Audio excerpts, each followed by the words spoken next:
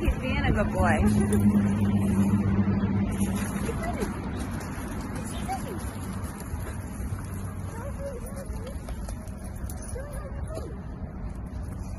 Sure. There we go.